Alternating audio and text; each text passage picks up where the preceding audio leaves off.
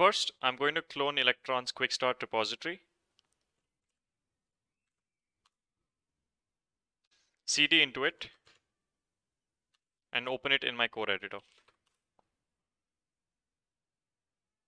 Now I'm going to run npm install and npm start.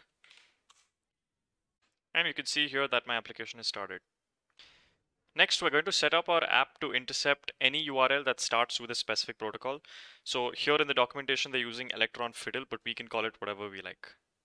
So in my main.js, I'm going to set my default protocol client. So you can see here that I'm calling the set as default protocol client method, and I'm registering this string, which is electron hyphen fiddle. All right, so the next thing I want to do is listen for the open URL event.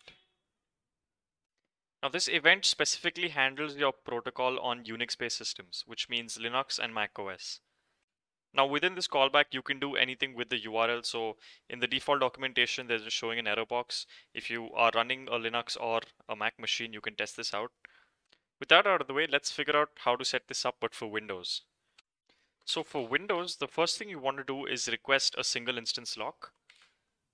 Now this variable resolves into a boolean that you can check for. Now, if you don't have the lock for the single instance, you can actually quit out of the app.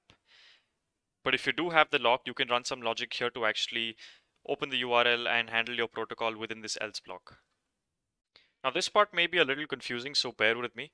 We're going to listen on an event called second instance, which gives us a callback that we can enter some code. Now within this callback, I want to check if my main window exists.